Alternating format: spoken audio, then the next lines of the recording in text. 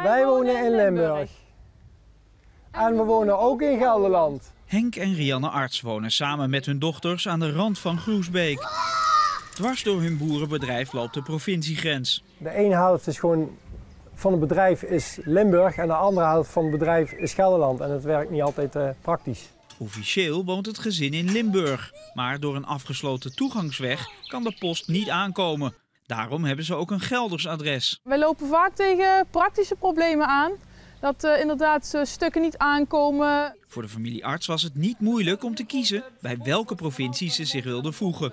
Uh, Limburgse fly of Gelderse worst? Gelderse worst. Gelderse worst. Nu de grens wordt verlegd en de familie Arts volledig in Gelderland woont, wordt onze provincie 0,2 hectare groter.